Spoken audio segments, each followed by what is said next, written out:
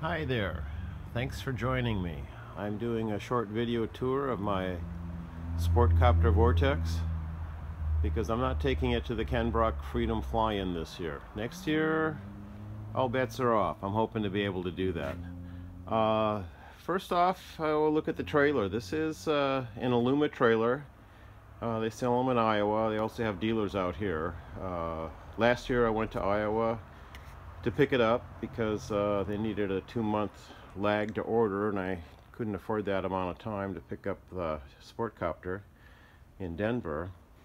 Uh, it's a, a 78 14 SBT that stands for 78 inches wide, 14 feet long, single axle, bifold tail.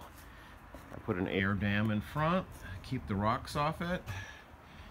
This is the landing light on the Beast. Looks like just a plain ordinary incandescent. Uh, wind indicator. It has the full canopy. It can come off. Uh, spare gas tank. Uh, toolbox kind of tied down. A bunch of stuff here on the ground. I don't know if anyone's interested in that or not, but I might talk about it. Uh, rest of the canopy, pitot tube, cover, ring gear on the, the mast.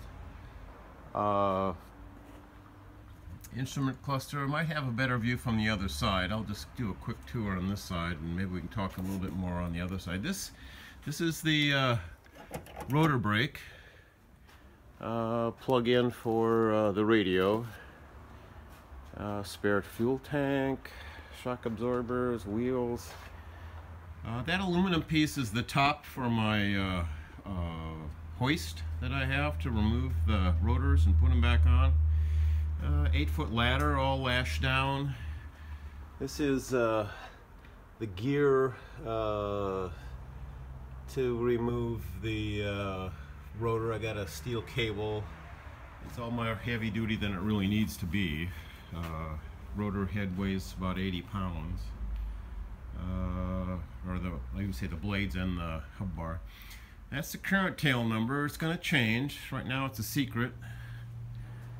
Uh, that's the rotor box, that long rectangular with the single strap over it. It's got a cross strap or two. This is the bifold gate. It's really too short, so I have ramps for it. It it it folds out to twice that length, so it's around six foot, and uh, the the bed is 18 inches off the ground. Because it's a single axle, it's got these little things on each side so that it, it doesn't tilt unexpectedly on you. A lot of E-tracks here. I love those things. This is the tail piece uh, for my hoist that fits in the uh, two inch receiver on the back of the truck. So that's the pin locking and this is a two inch square piece of aluminum and it was a just a wee bit big so it had to get machined down. Lucky me, I know a guy that has a machine shop and uh, has time on his hands. Uh, there's the engine. It's a Honda Viking. Uh, it's a 110 horsepower. Uh, this is the oil tank right there. Uh, I did the annual maintenance on it, uh, but I can't do the annual inspection because I didn't build this uh, gyroplane. Bought it from a guy that did, so gotta pay somebody at some point coming up real soon here to go do the annual inspection. Okay, just a couple of things. This is uh, the air intake. This is the alternator. It's a car engine, so it looks like a car engine. Uh, this is the uh, starting gear, ring gear. I had to replace it. Was made out of aluminum, and shortly after I purchased this from uh, Mark Tridell in Denver, uh, they wanted to do a replacement of uh, that ring gear. So I had to take off everything from here forward, which is a good learning experience. This is the power speed reduction unit. A little sight glass right there. You can check the oil level. And uh, that's a Bendix cable that goes up to uh, pre-rotate it.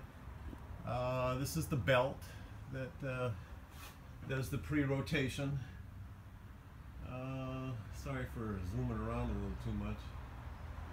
Uh, let's see what else. An oil breather up there. That's also where you put the oil in. to the oil tank. Uh, this box here has uh, two electronic control units in it. One is a backup for the other uh, in case there's a problem. It has one battery. I think that's probably the weak system. Weak point in the system. It's this thing here with the red top on that you can barely see right in there. Uh, this is a pneumatic pump uh, and and uh, right there and then the air cylinder to hold the compressed air and it goes up to the uh, servos at the top that control pitch and and roll so I can set that from the stick. Uh, seat tank gas actually separate from the seat but it's right there. Uh, eight and a half gallons there and that's a five gallon. Uh, this is uh, the pre-rotator and that's the throttle. This is the starter button. Uh, stick has some buttons on it. It's kind of hard to see but uh, there's the radio on the button and uh, on the joystick and then uh, oh the, the, the servos to control the uh, tilt of the mast. All right, this is the, the dash. It's got three big gauges on there. It's got an altimeter out from left to, left to right, airspeed, altimeter, and uh, vertical speed.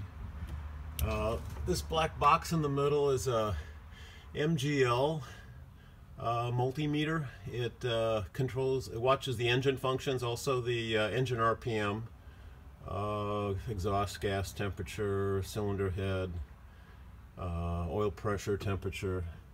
That's my red lion RPM indicator for the rotor. A bunch of little switches here for, this is the backup pump. There's two pumps. Uh, this is the backup electronic control unit. This is the master on. Down here we have, oh, uh, communication radio and transponder, mode C. And this, I really haven't figured out the usefulness of it, so it, it oh, where is it? Right there, this, this guy. It does a gauge to control the burn rate of the fuel.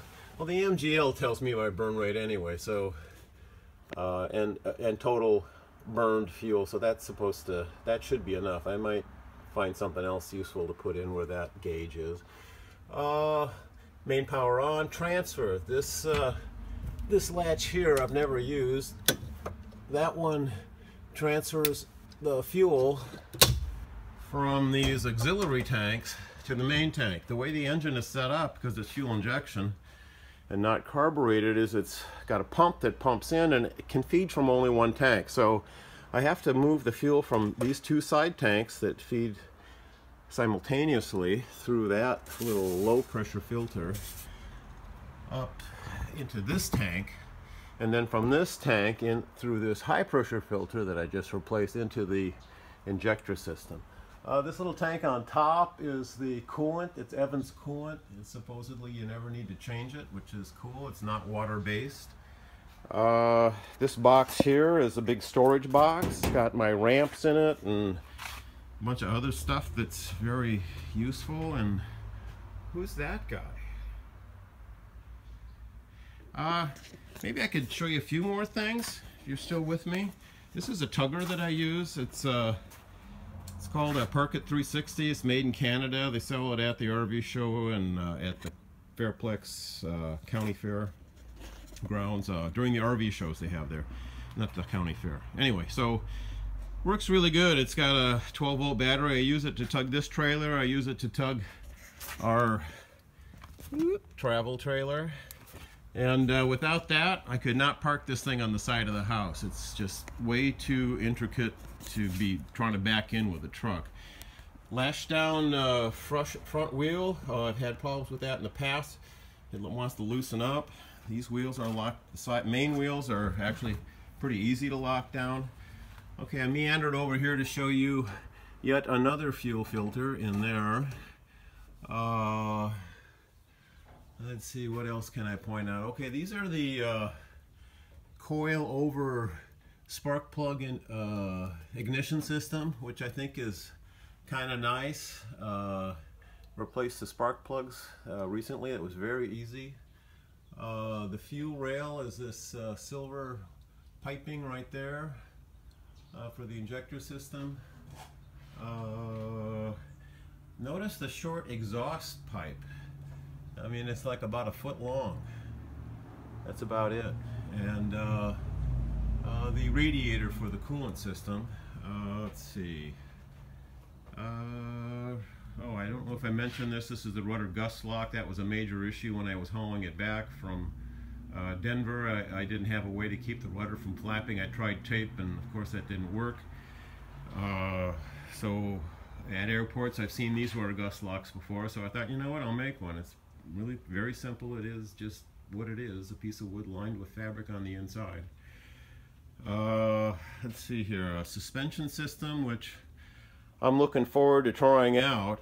Uh, I think it'll make my bad landings look pretty good. Oil cooler. Yes, indeed. There is an oil cooler here too, so the engine should run very cool. Uh, well, I think that's about it. I, I can't think of anything else to really talk about. Uh, rudder pedals uh, with uh, toe brakes, both sides. Uh, had a little leaky brake issue. Turned out it was just a, a loose uh, fitting on the brake line. It doesn't seem like any air got in the system. Um, looking forward to flying this thing at some point in the near future. Anyway, all for now. Bye.